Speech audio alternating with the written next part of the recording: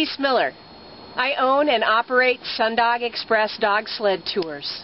We take people for dog sled rides, we teach people to mush dogs, and we race dogs. I was born and raised in Fairbanks, Alaska. This is my lead dog, Dudley.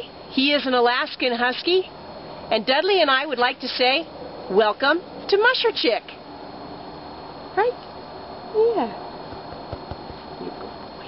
You're a good boy. Swore. You're good boy. That was really good. You did great. You're.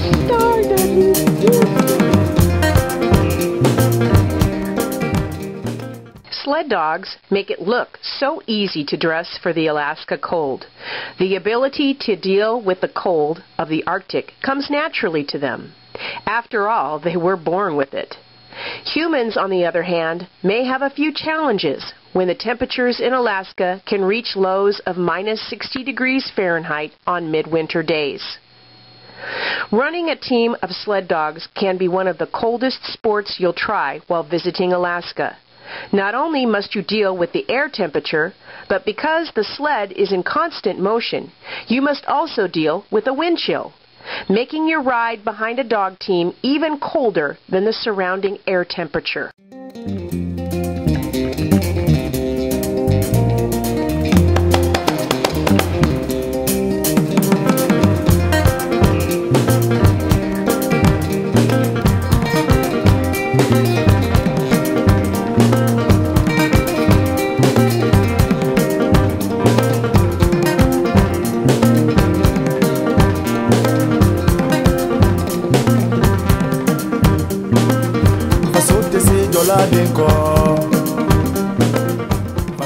How should you dress for such an endeavor?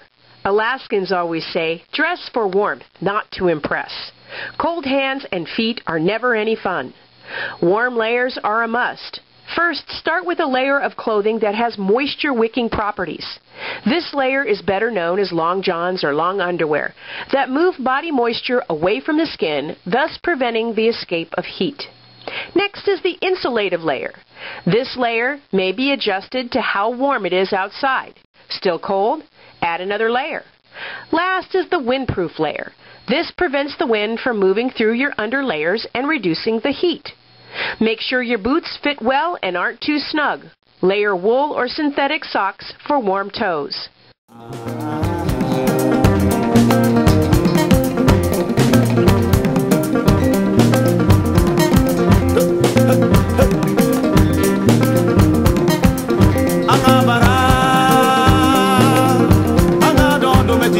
белом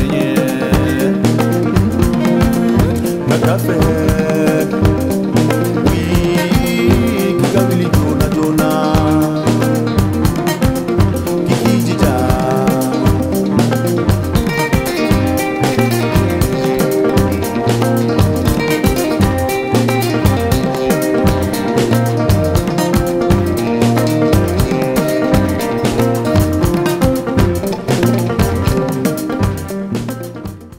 Gloves may be layered as well. Start with a synthetic liner glove, cover with an insulative glove, then have big overmitts to put over them all if needed. If you are taking a dog sled school, having gloves that you can easily work snaps and grab collar rings with is a must. Bulky gloves usually don't work too well. Finally, don't be shy about using chemical hand, foot, and body warmers. They are a little slice of heaven out on the dog sled trail. Many dog sled tour companies do have gear to lend or rent if you've overlooked an item or two. Dressing for the weather doesn't have to be intimidating, but can be a lot of fun. This has been Elise and Dudley for Musher Chick. Happy trails!